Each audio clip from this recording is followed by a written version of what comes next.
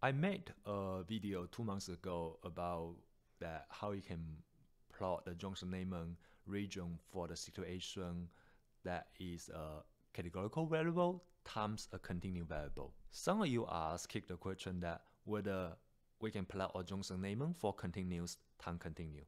The short answer is yes.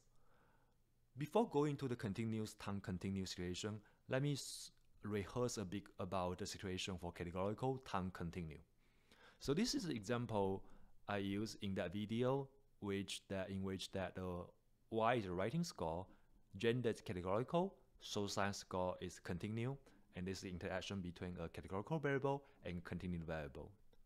In that video, I show you how you can use Excel to plot the the Johnson-Neyman region. I have also have another video namely this video is R to plot Johnson-Neyman.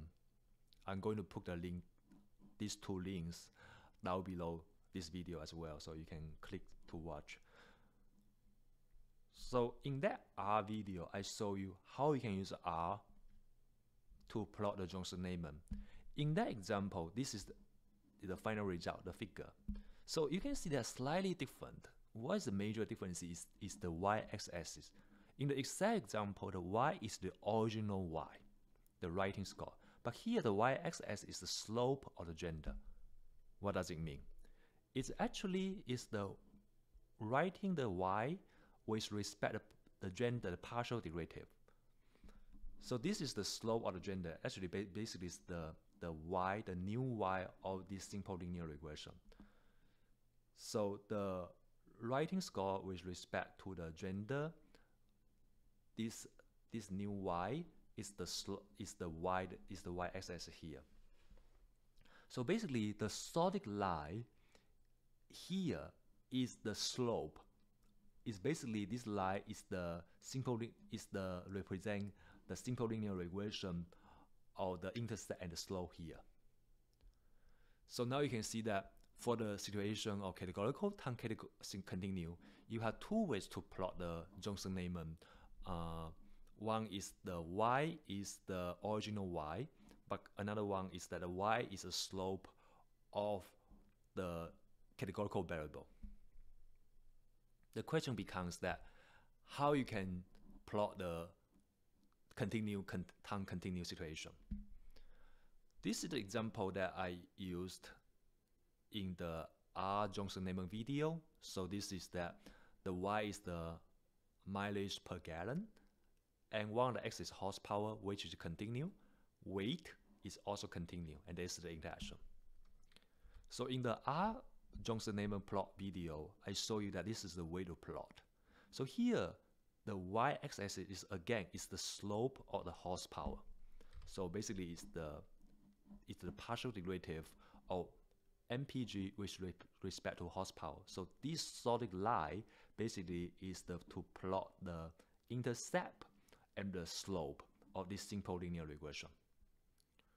So this simple linear regression is from this uh, interaction, uh, this linear regression, but just you calculate the partial derivative. So now it becomes simple linear regression, and this dotted line is is a plot of this simple linear regression, and this become the new y, namely the here.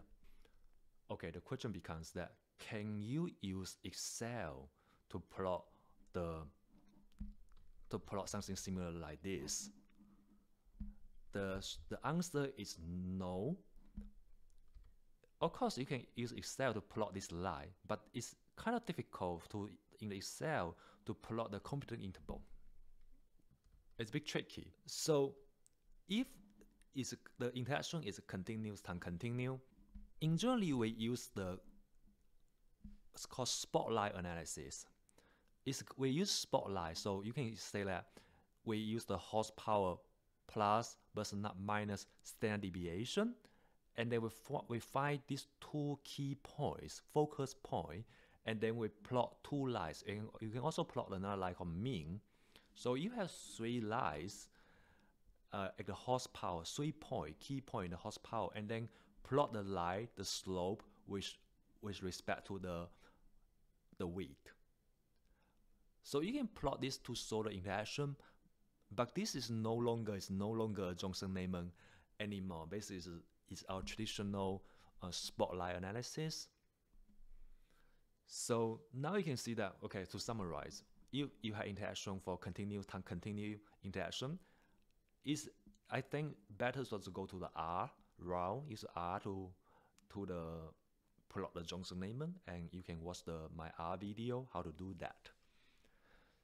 So I think thank you for watching. If you have any questions and or if I do not explain clearly in this video, you can leave a comment down below and I will try to answer either just directly respond to the question or just like I might make another video to answer your question.